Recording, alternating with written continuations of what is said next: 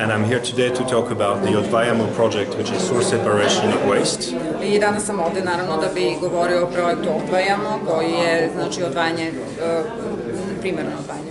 In the European uh, member states, we uh, try to separate the waste as maximum as we can in order to reduce uh, the waste being in a landfill.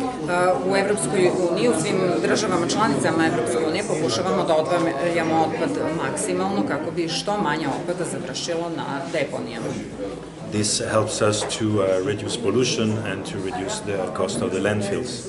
To nam pomaže da smanjimo sve troškove koje imamo zbog zagađenja i zbog samih deponija.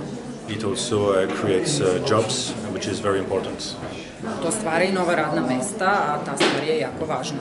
When we started this project at Vajamo with the Ministry of uh, Environmental Protection of Serbia and uh, 17 municipalities in the country, Kada smo počeli ovaj projekat odvajamo sa Ministarstvom za zaštitu životne sredine i sa 17 opština u celoj zemlji. We conducted a survey showing that 94% of the people we surveyed were uh, for uh, source separation as a mean to reduce pollution.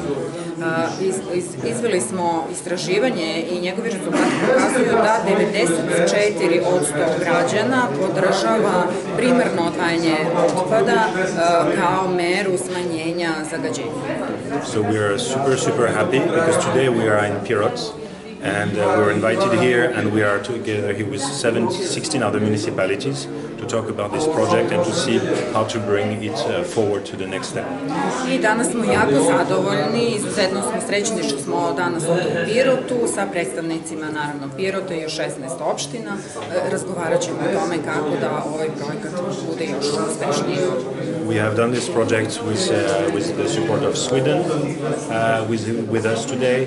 We have done this project with, uh, in, in a Team Europe spirit, and this is what European solidarity is about. Ovaj projekat upravo pokazuje šta je to evropska solidarnost. Radimo ga zajedno sa Švedskom i sa ostalim zemljama i timom za solidarnost. Today is a very important day for, uh, for all of us in Europe. It's also Remembrance Day, and we know that the Swedish ambassador is also in Pirot for that important day. And uh, I would like to, uh, to reflect a bit on this. Thank you. Danas je, mi znamo, veoma važan dan, dan sećanja i znamo da je i naš ambasador ovde u Pirotu i želim samo eto da pomenem taj značajan dan.